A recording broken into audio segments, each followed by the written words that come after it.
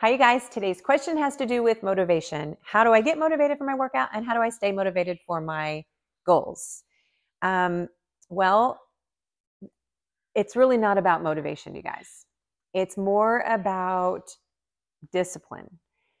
If you're looking to be motivated every day or every week or whatever, it's it's going to be really difficult to find because people can't motivate you. You know you have those people in your life that are like, "Let's do it. Let's go to class. Let's go out for a run. Let's do this or that." And you're like, "No, uh, I don't want to do it." You know, and you maybe you do it because you want to be a good friend or because you know that you should or whatever, but you're not really motivated.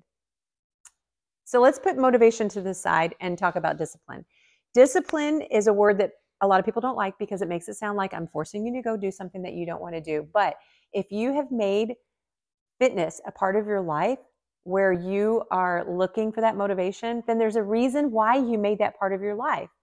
You have a set of whys, and maybe you haven't revisited that list in a little while. So today I want you to grab a piece of paper and a pen, and I want you to write down your whys. Does it have to do with not being a burden on your family as you age? to be able to play with your grandkids on the floor, to be able to cut the grass without feeling winded? Does it have to do with the race that you're training for? Or that you just want to feel better? You want to look better? There's a million reasons that you have possibly for your why. So revisit that list when you're not feeling super excited about getting after it that day.